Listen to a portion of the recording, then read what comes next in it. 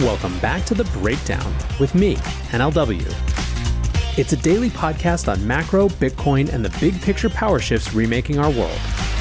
The Breakdown is sponsored by Nexo.io, Arculus, and FTX, and produced and distributed by Coindesk.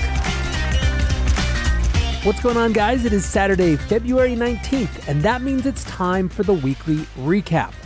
This weekend, we are talking about some big new investment rounds and funds. We're talking about a new FBI division, and we're talking about some interesting new developments on the mining side.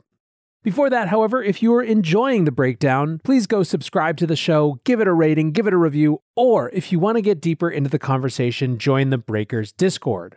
You can find that link in the show notes, or you can go to bit.ly slash breakdownpod.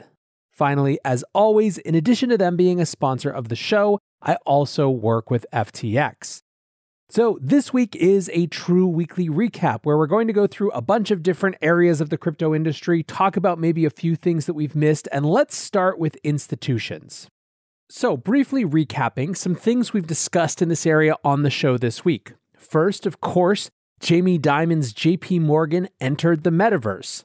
JPM opened the Onyx Lounge in Decentraland, Onyx being the name of their crypto division, and basically it was just there for people to hang out. More than anything, it was clearly a sign of their commitment to the space as they also simultaneously released a research report about the metaverse that was aimed at helping corporations and brands who are getting more interested in the space figure out what was hype and what was real. Speaking of institutions and brands getting into the Web3 slash metaverse space, the New York Stock Exchange made some headlines for filing a number of NFT related trademarks, which they said clearly were defensive. They weren't necessarily an indication that the NYSE was going to start an NFT exchange, but if they did, they have the trademarks now. And then there was Disney, who followed suit from a number of recent companies and added a head of metaverse position. Now, a couple more to discuss. Last summer, Circle was getting ready to join the public market via SPAC with a $4.5 billion valuation, but they've renegotiated their deal. Kate Rooney at Bloomberg writes Crypto company Circle renegotiates SPAC deal to go public, now at a $9 billion valuation, double what it was last summer. Cites growth in market share of USDC. Circulation of the stablecoin has more than doubled since last summer, now $52.5 billion. Jeremy Allaire tweeted Circle News. Today we announced a revised SPAC deal for Circle, ReSPAC, which values the company at $9 billion, building on the extraordinary growth of USDC and everything we are building around it. In the past year, USDC has grown by more than 45 billion in circulation, and growth in the ecosystem using USDC has been astounding. Circle's financial outlook has also improved considerably in the past year, which is reflected in this revised deal and announcement. We're looking forward to executing on our public listing and grateful to our partners at Concord who've been working alongside us as we build this great company.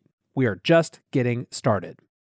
This news was not exactly surprising. USDC is hot on Tether's heels and in many ways looks to be in a better position than Tether going into debates among US lawmakers about how stablecoins will or won't be regulated. Another bit of funding slash fund news is that Sequoia, which is one of Silicon Valley's most storied firms, is getting deeper into crypto tokens with a new half billion dollar fund that is focused primarily on token activities. Partner Michelle Bailey writes, We're raising a 500 to $600 million fund focused primarily, although not exclusively, on liquid token activities investing, staking, providing liquidity, participation in governance, and more. We'll continue to invest in crypto at all stages out of our main seed, venture, and growth funds as well. This is how we've been investing in crypto equity and tokens for the past five years. So then, why this new fund? Founders and builders we respect have asked us to be more active with our tokens, staking, governance, etc. And this will give us more flexibility to do that. It gives us a crypto native pocket within all the resources of our broader firm. Main message we have a full stack product for crypto founders, whether equity or token, from seed and beyond.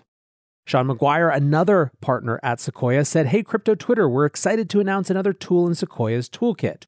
We're launching a crypto fund that will primarily focus on liquid tokens. This forces us to level up our infrastructure so that we can move faster and go even deeper. This is only one prong in a multi pronged approach. We'll continue to make most of our equity investments out of our traditional funds, seed, venture, growth, expansion. Fun fact last year, over 20% of our investments were into crypto companies. We believe that crypto may be one of the biggest megatrends over the next 20 to 30 years. If that's true, as the internet was over the last 30 years, crypto's ripples will extend to every sector, and the lines will blur between crypto and everything else.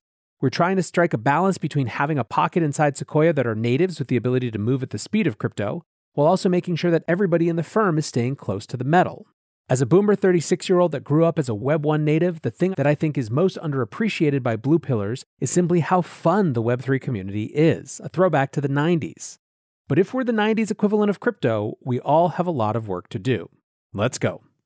Now, the interesting thing here is that there are clearly shifts going on in how venture capital has to organize itself in order to play in this new space. There are also incentive alignment issues to consider, which are part of that disruption. Tokens bring with them much faster liquidity than traditional equity, which can have some not necessarily great outcomes for the industry as a whole. What's clear, however, is that things are changing one way or another. Nexo is a trusted and easy to use crypto platform where you can buy cryptocurrencies at the touch of a button and start earning up to 18% annual interest that is paid out daily. They support all of the major assets on the market and even allow you to swap one asset for another or borrow cash against your crypto without selling it. Nearly 3 million people in over 200 countries trust Nexo with their digital assets. So whether you're just getting started or you're a seasoned pro, get the most of your crypto today with Nexo at nexo.io. Meet Arculus, the next generation cold storage wallet. Arculus secures your crypto using three factor authentication, providing a simpler, safer, and smarter way to store, buy, swap, send, and receive crypto. Arculus is offline cold storage. Your private keys are encrypted on the Arculus keycard and are never online. Stay safe from hackers with no cords, no charging, no Bluetooth. Just crypto security made simple. Buy now at getarculus.com. That's G E T A R C U L U S.com.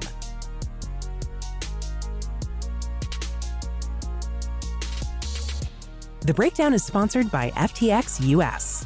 FTX US is the safe, regulated way to buy and sell Bitcoin and other digital assets, with up to 85% lower fees than competitors. There are no fixed minimum fees, no ACH transaction fees, and no withdrawal fees. One of the largest exchanges in the US, FTX US is also the only leading exchange that supports both Ethereum and Solana NFTs. When you trade NFTs on FTX, you pay no gas fees. Download the FTX app today and use referral code BREAKDOWN to support the show. Moving back to the government side, the FBI has revealed a new group focused on crypto. The National Cryptocurrency Enforcement Team has a new director in Eun Young Choi. It's right there in the name, but this is definitely focused on the enforcement side of things. Choi said in a statement the NCET will play a pivotal role in ensuring that as the technology surrounding digital assets grows and evolves, the department in turn accelerates and expands its efforts to combat their illicit abuse by criminals of all kinds. There was a ton of Twitter discussion, as you might imagine, around this, especially in light of the Canada Emergency Act. Brian Dean Wright, a former CIA officer, said if you have a hosted crypto wallet, you're going to find out it's not really yours. Speaking of Canada, when I did a show on the Canadian protests earlier this week, I asked folks who were in Canada to send me their opinions. And the reason that I asked is that obviously in the Bitcoiner community, the main thing that you will see is the incredible frustration, antipathy, nervousness, combativeness towards what amounts to the weaponization of the financial system against the protesters.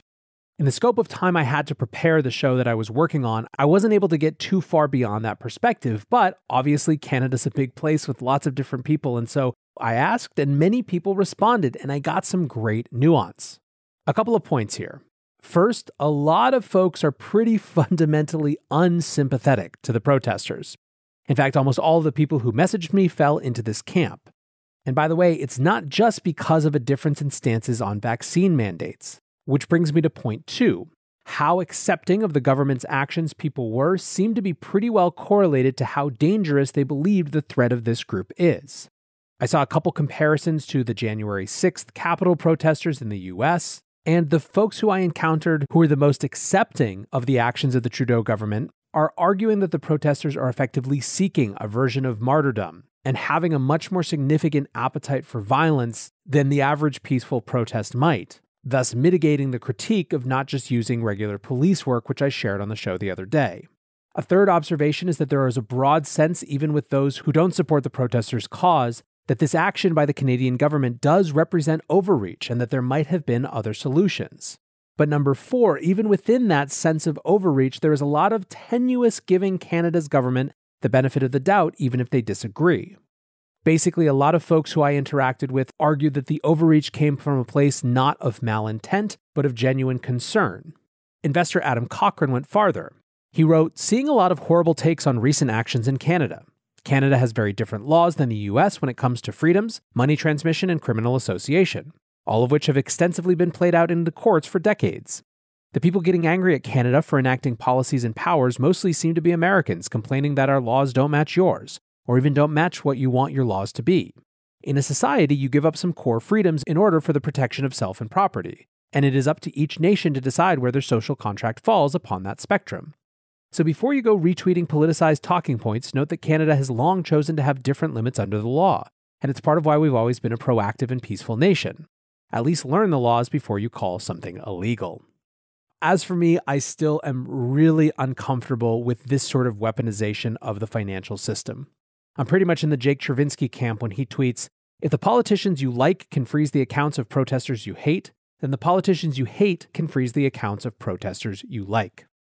I'm not even in the universe of being a friend of the January 6thers, but this is still a sort of financial approach to engaging with US citizens, even those ones that I wouldn't support. That said, there is no denying that the Bitcoiner perspective and the politically right Canadian perspective on this is loud, loud, loud in the Twitter sphere. And so, if you're trying to wrap your head around the full breadth of people's perspectives on it, it's good to have more of those other takes as well. Finally, let's wrap with a couple of topics focused on mining. Oil giant ConocoPhillips made news this week when they announced that the company is going to sell excess gas to a Bitcoin miner as part of their goal to reduce methane emissions and reach their zero flaring goal by 2025. Now, initial people saw this as ConocoPhillips actually doing Bitcoin mining themselves, which they're not, but the distinction actually isn't that important. What matters is that a major oil company is looking to Bitcoin mining as a way to load balance the grid. Lyn Alden writes ConocoPhillips is now converting some of its stranded gas into Bitcoin mining rather than flaring it. Small energy companies have been doing this for a while, but it's interesting to see a major producer announce it now. This process cuts down on CO2 emissions and allows that otherwise wasted energy to be monetized and put to use.